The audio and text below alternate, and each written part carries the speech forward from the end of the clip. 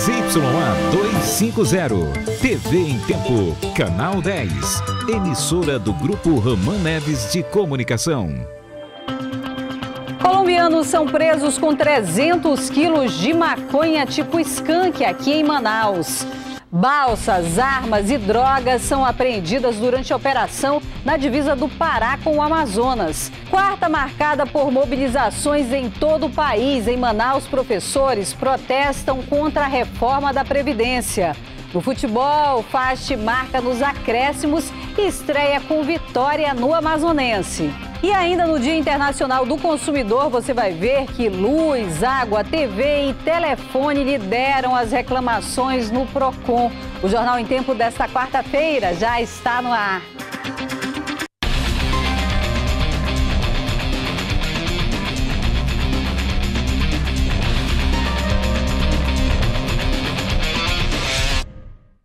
Boa noite. A polícia prendeu dois colombianos envolvidos no tráfico de drogas aqui na capital. Com a dupla foram apreendidos 300 quilos de skunk, além de uma arma e 12 mil reais.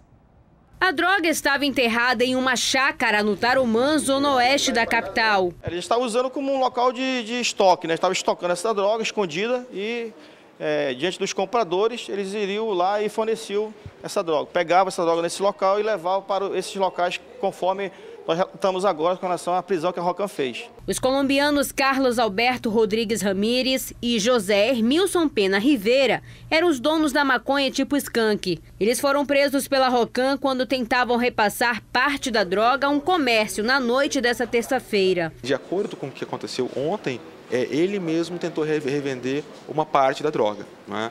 Aí, isso, isso que iniciou a origem da descoberta do, do, do armazém de drogas. Os 300 quilos de skunk foram avaliados em 2 milhões de reais. Assim que a substância fosse misturada e refinada, o valor chegaria a 8 milhões. Só neste mês, as polícias civil e federal apreenderam 2 toneladas e 262 quilos de drogas. A maioria dos entorpecentes chega na capital pelos rios, principal rota do tráfico de drogas. Foi o caso da apreensão dessa terça-feira. Acreditamos que a droga seja de origem colombiana, até pela, pelo, pelo histórico da, da droga, pela proximidade com um braço de rio que tem no Igarapé e que ela tenha chegado via fluvial, porque ela é difícil de locomover uma quantidade dessa de droga. Uh, e também acreditamos que é, aquele local era um ponto de armazenamento da, de tráfico de drogas. Além dos entorpecentes, com a dupla de colombianos também foram encontrados uma arma calibre 45, munições e 12 mil reais. Comunidades distantes da calha do Juruá começaram a receber hoje serviços básicos, como atendimento médico e emissão de documentos. O barco Todos pela Vida faz parte do programa de atendimento itinerante e vai atender durante 100 dias municípios e comunidades rurais da Calha do Juruá. São oferecidos vários serviços, como retirada de documentos e consultas médicas. É um avanço, eu diria, na cidadania. Né? Você vê um morador lá do Juruá, da mais distante comunidade, ele não tinha nenhuma luz de esperança. O barco chega, levando cidadania, ele vai poder, se não tem a sua certidão de nascimento, ele vai poder tê-la. Se ele está na, tem tempo e direito de se aposentar, ele vai se aposentar. Mas se ele tiver um problema na vista que precisa ser de um exame, ele terá. Outras duas embarcações passam por reformas. Depois de prontas, vão atender os municípios da Calha do Purus e do Alto Solimões. A nossa meta é atingir, em média, 15 mil pessoas é, em número de atendimentos e isso pode duplicar, porque uma mesma pessoa pode ir para o INSS, pode buscar o serviço de saúde, pode buscar o registro de nascimento, pode passar na oficina de mulheres e assim por diante. Na ocasião, o governador José Melo comentou sobre a situação do sistema prisional. É que hoje foi divulgado o relatório do Conselho Nacional de Justiça, que apontou que a segurança é ineficiente, falta comunicação e infraestrutura nos presídios do Amazonas. Outro problema apontado pelo CNJ é o alto custo por preso aqui no estado, muito acima da média nacional. Em dois anos, dobramos o número de presos dentro do sistema prisional nosso. Durante esse período, o governo federal não deu um real sequer para fazer uma nova cadeia pública. Então, se a gente cumpre o nosso dever aqui fora de poder botar preso dentro das penitenciárias, por outro lado, criamos um problema muito sério, que é amontoar preso. E hoje começou o ano letivo para 2.500 alunos da UNAT, a Universidade da Terceira Idade aqui da capital. A alegria já é sentida na entrada.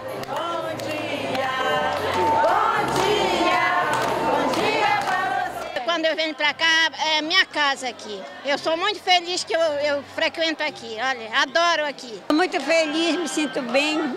Graças a Deus, eu não gosto de estar em casa, venho para cá todo dia.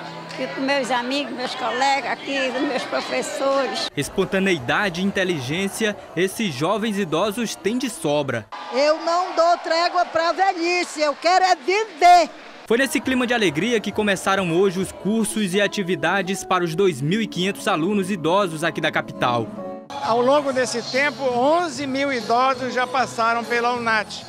E agora nós temos 30 cursos de extensão voltados para os idosos, temos cursos de pós-graduação para quem já terminou a universidade, para formar cada vez mais um número maior de consciências voltadas para o envelhecimento na sociedade. Pilates, caminhada, fisioterapia, natação, inglês, teatro e música são algumas das atividades oferecidas. Melhor do que ficar só em casa, aqui a gente interage com amigos, estuda, tem muitos professores bons, todo mundo é, é bem recebido aqui. Esta unidade da UNAT na Zona Oeste vai ganhar um centro de pesquisa para estudar a longevidade e qualidade de vida dos idosos. Uma parceria com a Assembleia Legislativa do Amazonas.